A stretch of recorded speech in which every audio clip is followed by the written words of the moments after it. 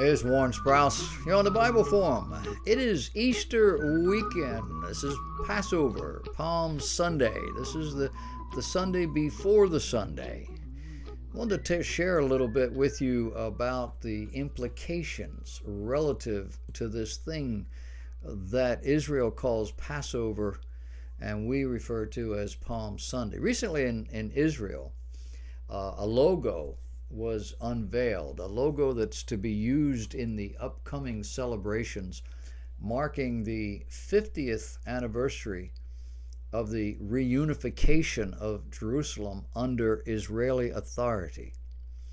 The emblem features an Israeli flag flying atop the old city walls in the Temple Mount and is accompanied by the slogan 50 years since the liberation of Jerusalem.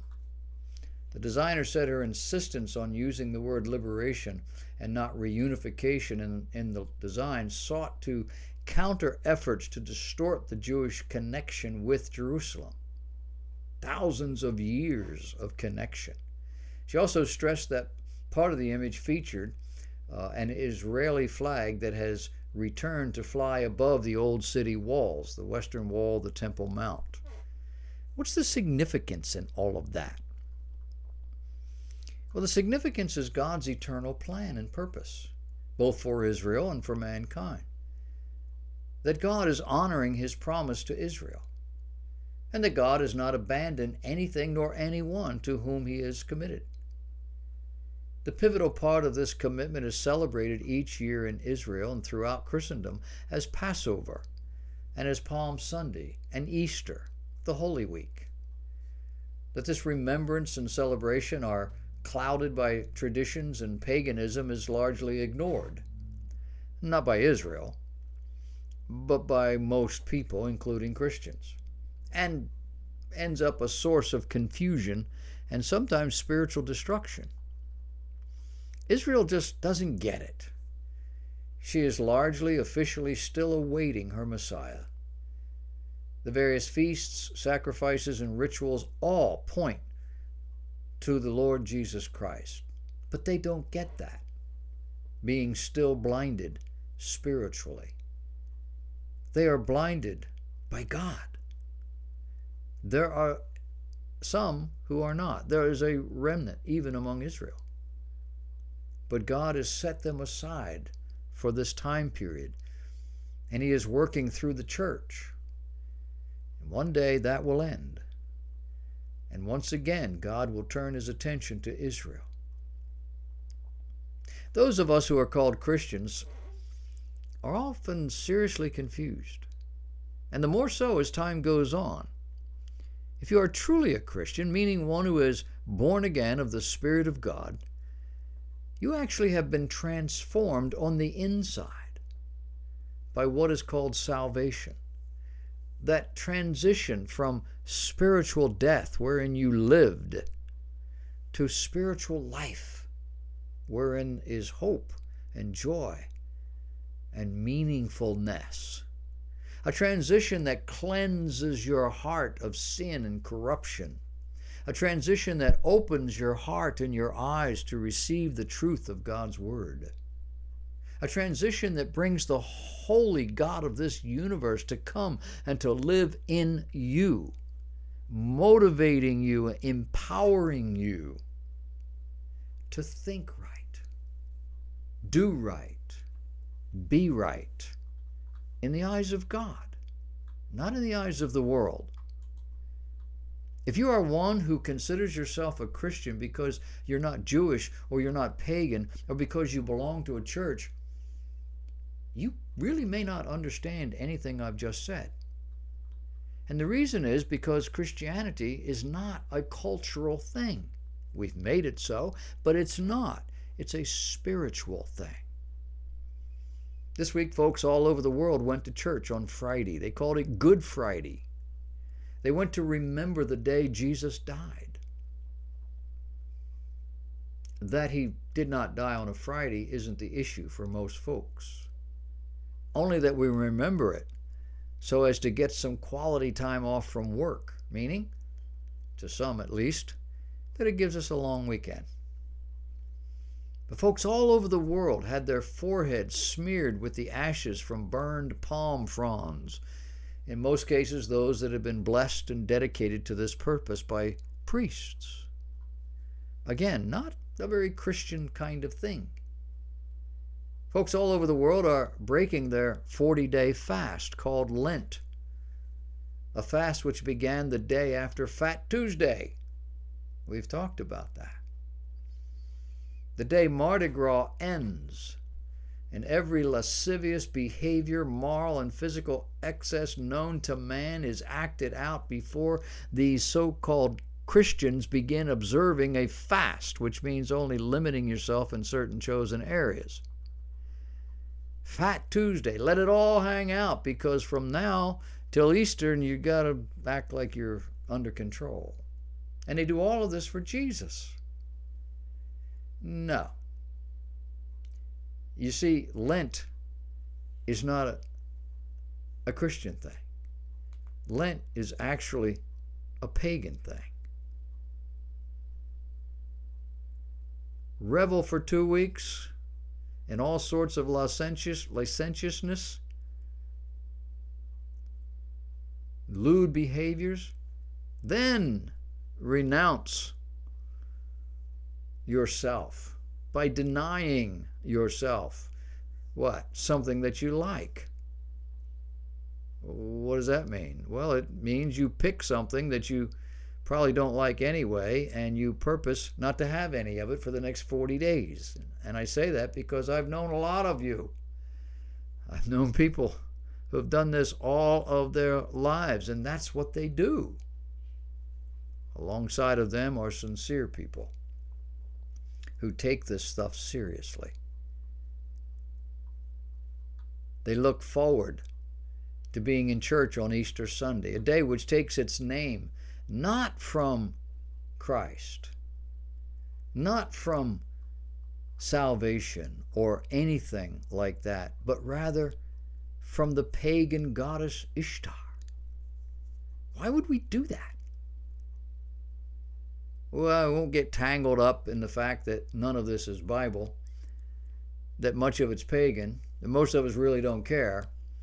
Suffice it to say that ashes smudged on your foreheads to ward off evil spirits, a 40 day observance weeping for Tammuz, the murdered son of Nimrod, or perhaps Nimrod himself, and the term Easter, taken from the pagan deity Ishtar, are not Bible ideas, but rather are brought over into a pseudo Christian system to make people feel good, to give them something to do, to assuage their guilt which is largely what Christianity has become.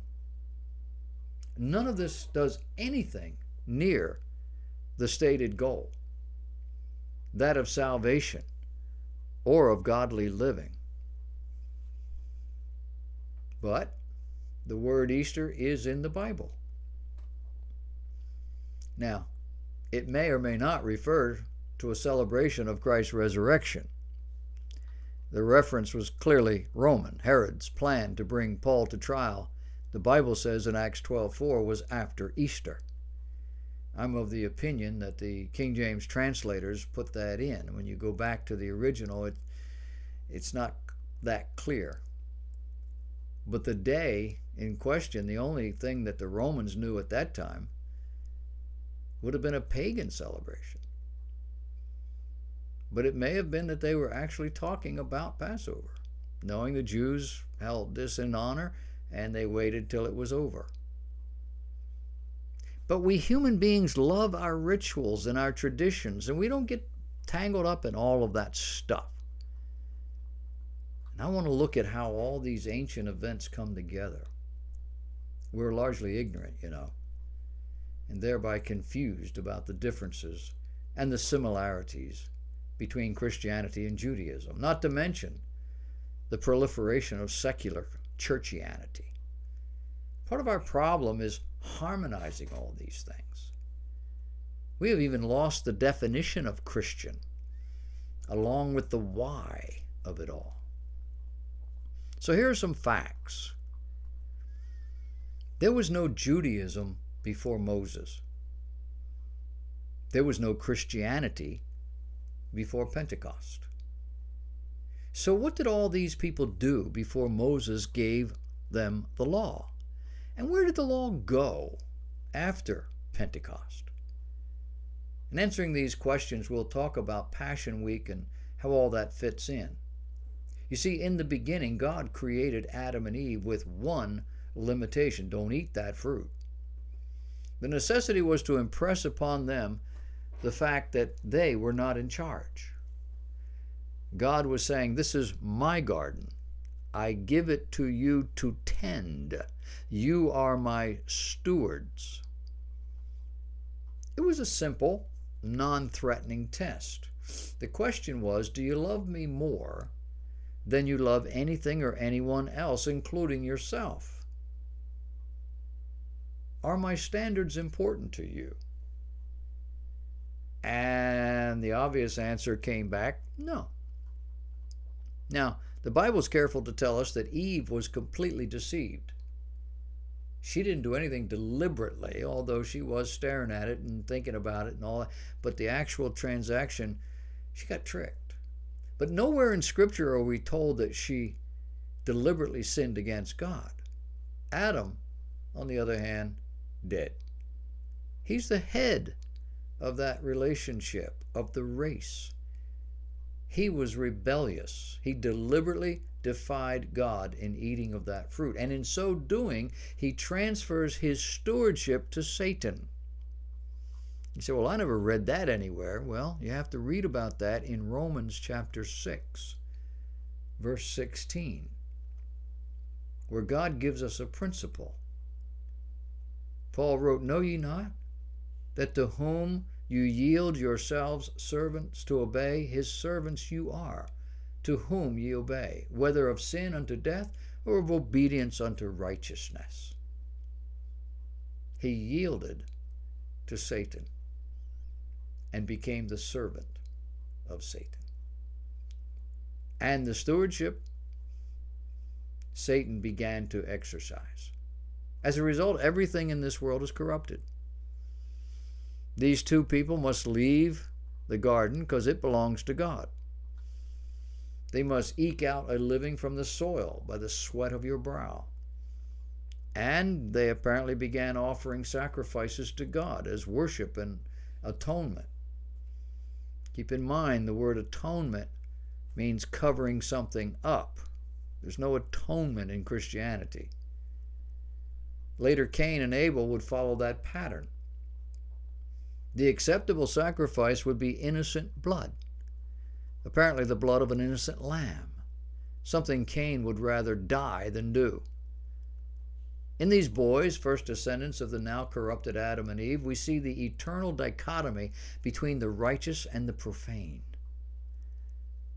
In the following narrative, it's clear that only one family of mankind, those descendants of Seth, would honor God, while everyone else did what was right in his own eyes. Genesis chapter 4, verse 6, or verse 26. And to Seth, to whom also there was born a son, and he called his name Enos. Then began man to call upon the name of the Lord. For the next thousand years or so, men multiply upon the earth. It is the children of Cain which create the human, natural, physical things of which the earth consists today. These rebels built cities. God never told anybody to build a city. They were farmers, they were sheep herders, living off the land, trusting God. These people built cities. They were the instigators, the developers of metallurgy, of music, of bricks and mortar with which to build these large buildings. They were also the progenitors of polygamy, divorce, manslaughter, all of which are products of those who do not love God. You say music is the product of the. No, there's music in heaven. But the music down here has always been designed to touch your soul. and it's a two edged sword. I love music. Music resonates with the immaterial part of our being. It moves us, it shapes us, it drives us. And men who do not love God with their whole being create music with which they worship their lusts. Melancholy music, marching music, romantic music, chaotic music, music by which they lose control of their senses. Today, the new worship music is more rhythm and blues than it is sacred. It's more rock and roll than it is spiritually moving or instructive. And the people love it so all sorts of people because it resonates with our sensuality, with our basic senses. Take the contemporary music out of our church services today and find out how many people show up tomorrow. See, they're not there to meet and to do business with God. Some, perhaps. But the vast majority, majority simply tolerate the music if they're there to worship God. But if they stay in that environment, eventually it changes their sole focus. Now, I know I'm going to get rude comments for saying stuff like this. But as you sit down and write these rude comments, these criticisms, realize all you're doing is proving the point. Just keep in mind, none of these things we enjoy about this world were devised by the godly line of Adam through Seth. For the next thousand years or so, men went about the business of making their world into their own likeness. In the end, Nimrod put it all together and created a universal religion that was anti God. A religious system that still exists today. Segments all over the world. A religious system that moved God to destroy all that breathed from off the earth saved eight souls, a religious system that moved God to judge mankind, and it still exists. The flood in Noah's day resulted from the breaking up of the earth's mantle, exploding dirt and water into the air. It involved breaking the vapor uh, layer above the earth that shielded the sun's harmful rays. Can you say ozone? The cataclysmic upheaval changed the topography and the attitude and rotation of the earth. Science tells us the earth has, was not always tilted as it is now, and that something catastrophic occurred in its history and shifted it. It's why we have seasons. Creating a world that would be ravaged by animals, weather, disease, and mankind, and shortening our lives as a result. In a very short period of time after the flood, men were back worshiping their own imaginations. The ancient religion of Babel brought another of God's judgments. Language was confounded. People divided according to language, the ones they could understand, and they gathered together and then dispersed around the globe. Babel was reproduced throughout the world, albeit in a weakened and corrupted form. Everywhere man has looked, he has found vestiges of Babel worship. From the gods and the goddesses to the burial mounds in Europe to pyramid like constructs in South America to the actual pyramids, all of which served as focal points in pagan worship schemes. In South America and perhaps other places, they were places where young male adults had their hearts ripped out while they were still breed, beating in sacrifice to their gods. In all of this, men have sought to dominate their fellow man, creating great civilizations with great capital cities and great wealth. When the children of Israel were slaves in Egypt, they were not slaves to Egyptians. Archaeology tells us that for centuries this issue was disputed. The Bible says one thing, and archaeology say Egyptians would never do that. They would never elevate this Hebrew to a place of, of honor in their society. And a while back, 100 years, I don't know what, 50 years, no, I'm getting older, 100 years, They discovered that these were Hyksos people from the northern Mediterranean area that dominated and ruled in Egypt in the days of Moses, a people group who ruled for about 500 years and then suddenly disappeared. Where'd they go? Well, the Bible says their monarch and their army were drowned in the sea. And it's possible that native Egyptians then took back their land. God setting up this event just for himself so that Moses could rise to this place. And out of all of that, God was calling and equipping a people, sons of Abraham, Isaac, and Jacob, Hebrews, the nation of Israel. To this one human family, God gave law, a complex, comprehensive set of rules by which to live, involving diet and dress and social customs, sacrifice, finances, rules of all sorts. To honor God, the Jew must obey these rules. To reject these rules meant judgment. God either striking them dead, crops that did not yield a harvest from locust or sun or whatever, defeat at the hands of their enemies, and, and more. The uneducated and the uninitiated are prone to view the law as a means by which a Jew would get to heaven. Jews hmm. themselves also began to see it that way. But it's not true. No one ever got to heaven by being good. Why? Because no human being can be good as God defines good. The law of Moses regulated life and worship, prescribed the way to honor God, to serve God. It did not provide a way to God. The way to God has always been by God's grace through faith, not of works, lest any man should boast. Ephesians 2 8 and 9. From the days of Adam through Noah, Abram, Jacob, Moses, it was ever so.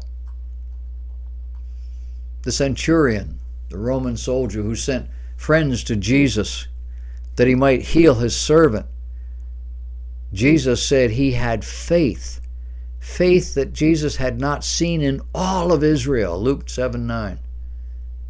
And the point here? These are Jews who kept the law, trusting God, believing God, and in so doing, they saw themselves being judged as righteous.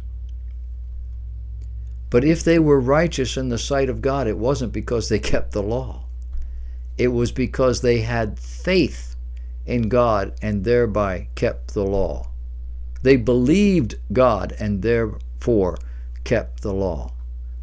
Those Jews who did not keep the law with sincerity, with consistency, were not righteous, regardless of how much they did. Paul summed it up in Romans chapter 3. He says, For all have sinned and come short of the glory of God. Being justified freely by his grace through the redemption that's in Christ Jesus, whom God has set forth to be a propitiation, a satisfaction through faith in his blood, to declare his righteousness for the remission of sins that are passed through the forbearance of God. To declare, I say at this time, his righteousness, that he might be just and the justifier of him who believeth in Jesus. So where's the boasting? It is excluded. By what? By a law? By works? No. It is excluded by the law of faith. Therefore, we conclude that a man is justified by faith without the deeds of the law. Is he the God of the Jews only? Or is he not also of the Gentiles? Yes, of the Gentiles also.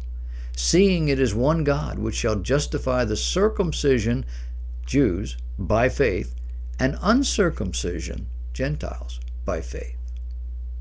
What the Jew was doing from Moses to Christ was establishing some basic principles that served to maintain the people group from which Messiah would come and, and then create the basic structure upon which Messiah would build. And all of this was vital to God's program. That it took 4,000 years might encourage you to understand that God is not in a hurry.